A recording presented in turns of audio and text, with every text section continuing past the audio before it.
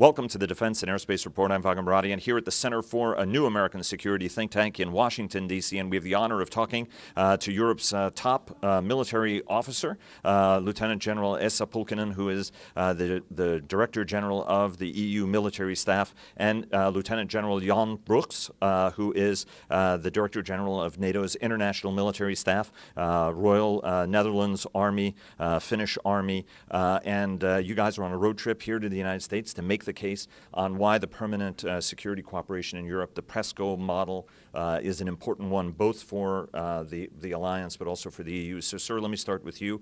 You know, there are a lot of people in the transatlantic community who are saying, look, why is this different from all of the other initiatives that have come before it? Yeah. What's the reassuring message you're giving to the United States for those who feel that the European Union is trying to rebuild kind of a separate NATO kind of a capability? I would say the message is very clear. We are here to together because we demonstrate that we militaries on the military side of the both of the alliance and European Union, we are working hand in hand. And that is the fundamental guarantee that what European European Union is doing itself, it's, it's to an extent possible aligned with, with the NATO. All the capabilities are, are, are NATO, NATO owned or a member state owned, not a NATO owned, but member, member states or member nations owned. And, and the, finally, together we are stronger. Let me take us to um, NATO perspective. You're a senior NATO, uh, one of NATO's senior most officers, sir. You know, how do you interpret this as a European, as a strong NATO ally? Uh, uh, uh Netherlands also are a strong U.S. ally. What's the message that you're delivering about why this capability is so important, that this European initiative is so important? So I think, first of all, I would like to say that we are not only here to look at, at the PESCO, but it's a broader NATO-EU cooperation. We have been working this issue now for two years, and at a certain moment we had reached the stage where we said we have to now go beyond what we've done uh, between the two of us and our staffs. That was reinforced by strong messaging from our political leaders, the HRVP and, uh, and the, the Secretary General. So they, they came out uh, there. So from, from NATO now, where we see this happening uh, on PESCO and, and the projects that come in there, that they are capabilities that we are uh, fits within the NATO capabilities catalog as well. Especially because we've been looking at getting to avoid, in the, in the case of burden sharing, the over-reliance on, on our biggest ally, being the United States. And from that starting point, PESCO and the projects and the capabilities it is going to deliver will be part of this burden sharing uh, across the ocean and this transatlantic bond. Um, as a lot of European officials have said, right, the pressure from the president's actually been welcome for those in Europe who've wanted a stronger capability and more defense spending. But then there's the question of why is this time different from past efforts?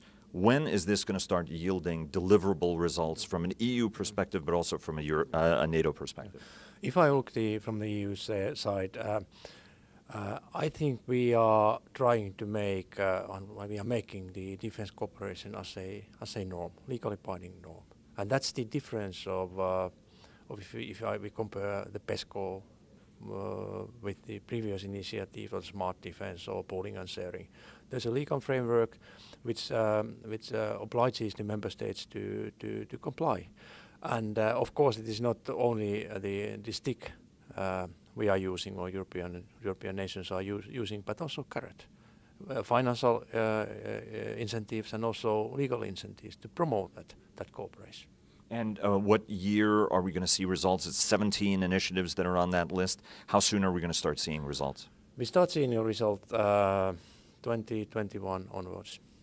Let me ask um, a question about.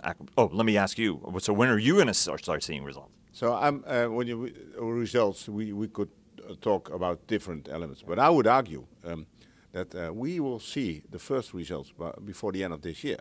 Uh, because what we, if I see a result that both of us have agreed on the technical requirements for military mobility, if that is agreed before the end of the year at the uh, EU side as a starting point, then we have a result already on the table. Of course, that's not a result where we see hardware driving or flying or sailing around.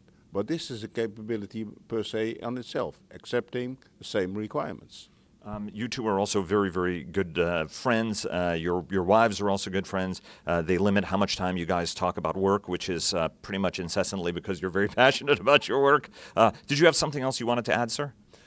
No, I said that I, I was most pleased to come here together with with Jan to here to to this continent. We also visited the, the New York and UN, and and and I I do hope that we we have produced a piece of positive history of these uh, two institutions and and strengthening the transatlantic bond, uh, the transatlantic link as well.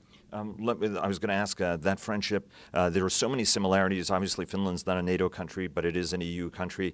Uh, Netherlands, obviously, one of the founding members of the Atlantic Alliance. Um, both use considerable amounts of American equipment, but also are very strong European and have uh, domestic industries as as well. When everybody is looking at this. Um, acquisition agenda, if you will, that's being laid out uh, under the, the plan. What's the right balance? Because there are concerns here that there's going to be a Fortress America. There's a concern that there'll be a Fortress Europe created at the end of the day. What's the right mix and balance? Can uh, European nations, for example, use PESCO funding to acquire Europe, a U.S. capability, for example, if it solves a capability need? What's the right way to balance the national interest, but also collective capabilities, because even folks in the United States will say a strong European defense industrial capability is important for the United States as well. Of course, it is uh, a little bit premature to answer these questions because we don't yet have the strong European European defense industry, and it is going to take quite a time to develop it. But I would say in the military point of view and, from a capitalist point of view, they buy where they can have the best product at the best price. That's uh, that's uh, a key. On how the PESCO will be further developed and what's the possibilities of participation of a third uh, parties like US uh, hopefully that will happen, but we don't yet know how and when. Sir? So, and for the balancing aspect, you know, as, as, as I said already, we have a responsibility to provide our uh, soldiers, sailor and airmen with the best possible equipment. And I couldn't care less where it comes from. Uh, a second element, of course, it should meet the requirement. And requirements we would most uh, perfectly try to identify. First, in time. But second, and that's one of the other elements that's, that's forgotten a lot, is interoperability. And interoperability amongst these uh, capabilities, amongst the NATO and the EU, would deliver something that would make forces ready.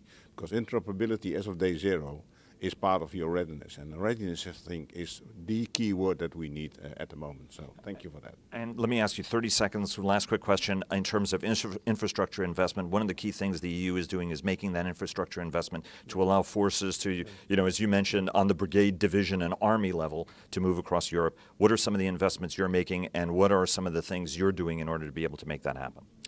Okay, like I said, Jan said, uh, it's a critical deliverable that we have come out of the common more or less uh, military technical require requirements. That's, that is the firm basis for, for onwards.